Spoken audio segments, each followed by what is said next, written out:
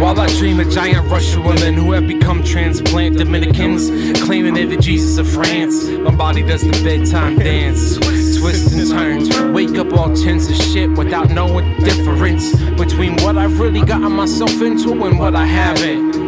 What part of this life is fake And what facts did I actually just pull out of my ass today And what's real to other people besides just me I should probably start wearing sunglasses something Cause I'm pretty sure I stare at everything Trying to figure out if I made it up Or if it's just fucking dumb that look on this person's face. That thing there for sale in this ridiculous place.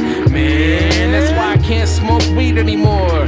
Why I gotta numb my senses with alcohol. Sometimes I fantasize about what would happen if I stopped holding back. It's that old what's outside of the chrysalis. One day I'm gonna do it, I promise.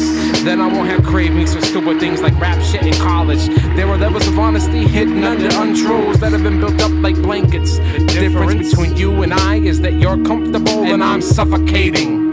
So one of these nights I'm gonna throw off everything. And instead of waking up tense, I'm gonna wake up with a whole other sense of self. Self.